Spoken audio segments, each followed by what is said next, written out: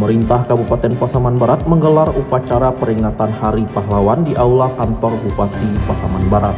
Dalam upacara tersebut, Bupati Pasaman Barat Hamsuardi bertindak sebagai inspektur upacara Rabu 10 November 2021.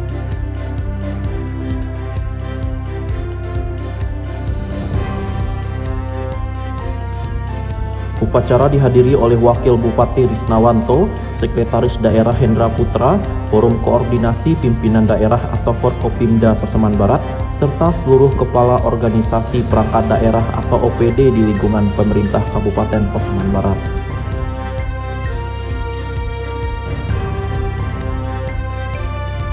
Bupati Hamswardi menyampaikan, upacara Hari Pahlawan rutin digelar setiap tahunnya untuk mengenang jasa para pahlawan yang telah berjasa untuk Indonesia.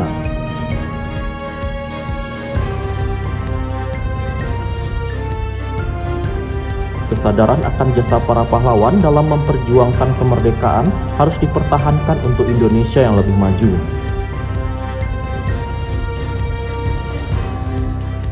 Hari Pahlawan menjadi salah satu contoh tekad gigih berjuang dan tidak pernah peduli akan halangan, serta pantang menyerah tanpa mengenal perbedaan suku, agama, ras, dan antar golongan, menjadikan perbedaan sebagai pemersatu bangsa.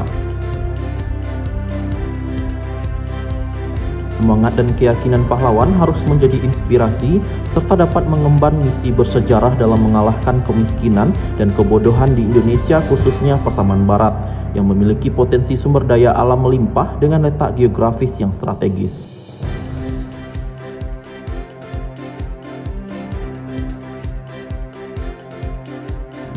Bupati Hamsuardi menghimbau kepada seluruh masyarakat untuk dapat menyatukan tekad dan langkah secara aktif dalam membangun Indonesia yang lebih baik, khususnya Kabupaten Pasaman Barat untuk lebih maju ke depannya.